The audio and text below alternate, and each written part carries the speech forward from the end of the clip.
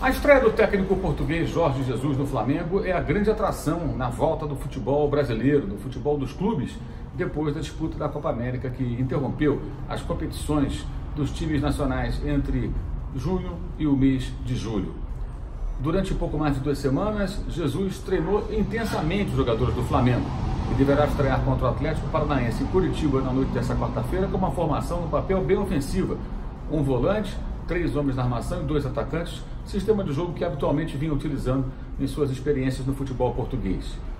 Coelar deverá ser esse volante, na ausência de Everton Ribeiro voltando de lesão, Vitinho fará o lado direito, pela esquerda Arrascaeta, centralizado estará Diego, que fará um papel, como já demonstrou no jogo treino contra o Madureira, um pouco diferente, voltando mais para buscar jogo, trabalhando quase como segundo volante na saída de bola, e à frente Gabigol e Bruno Henrique. Detalhe, para o técnico do Flamengo, o novo técnico rubro-negro, o Gabigol não é um homem de área. Então será um Gabigol circulando, saindo da área, como já jogou em outras ocasiões no Flamengo e em outras equipes. Mas, diferentemente do que acontecia durante a passagem de Abel Braga, que por várias partidas manteve o Gabriel Barbosa mais preso ao lado direito, ele vai circular com mais liberdade e o Bruno Henrique será o atacante mais enfiado. Imagina uma rotação, uma troca constante entre os dois jogadores, não, não se prendendo tanto a uma determinada posição.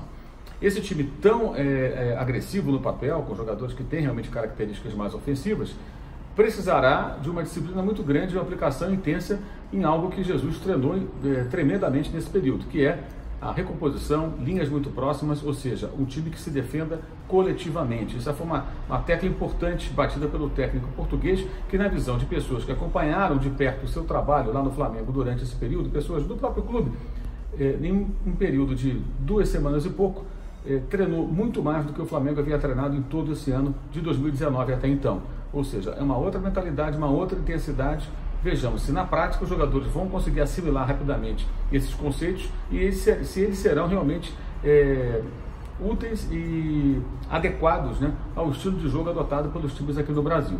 E para complicar o lado do Jesus, a estreia acontece contra o Atlético em Curitiba, na Arena da Baixada, no gramado sintético, onde o time paranaense é quase que imbatível e tem realmente uma, um cartel aí de vitórias bem longo, já não é de hoje. Fora de casa, jogando é, por diferentes competições, ao contrário, o Atlético tem fracassado, mas esse jogo acontece em Curitiba, o que será um desafio a mais para Jesus e os seus jogadores. Vejamos como vai se comportar o Flamengo nessa primeira partida sob o comando técnico de um português, de um europeu, mais uma experiência de técnico estrangeiro chegando ao futebol brasileiro.